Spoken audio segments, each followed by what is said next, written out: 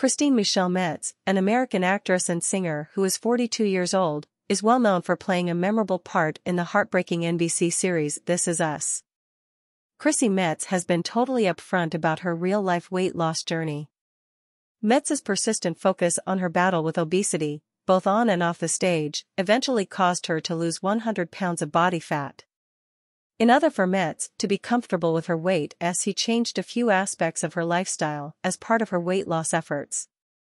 Metz reportedly shed 100 pounds by eating in a low-calorie diet. All I did was eat a 2000 calorie diet and walk 20 minutes a day, she told people. Are you ready to lose 100 pounds like Metz? Click the link in description now.